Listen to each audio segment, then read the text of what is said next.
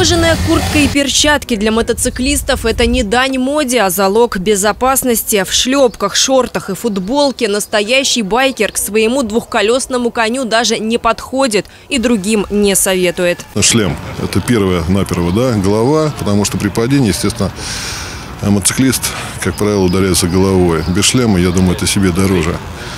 Естественно, куртка должна быть.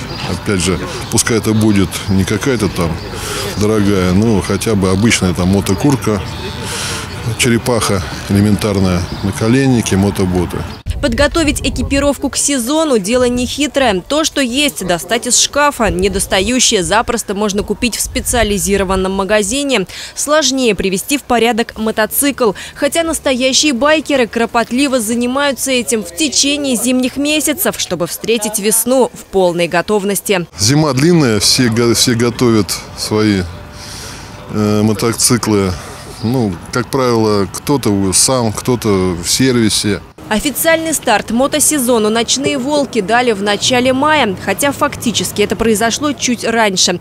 26 апреля колонна байкеров отправилась дорогами Победы, чтобы встретить 9 мая в Берлине и возложить цветы к мемориалу советским солдатам в Трептов-парке. Александр Трояк в столицу Германии не поехал. Дальность поездок пока ограничивается Брестом, хотя его железный конь из категории «Спорт-турист» позволяет путешествовать с комфортом. Мне нравится вот комфорт, ветрозащита много чемоданов, чтобы положить вещи. Нередко в поездке Александр берет с собой дочь Олесю. Впрочем, девушки приобщиться к ночным волкам могут только, как говорят мотоциклисты, в качестве второго номера, то есть пассажира. Дорога им в клуб закрыта. А вот присоединиться к празднику, посвященному открытию мотосезона, могли все желающие.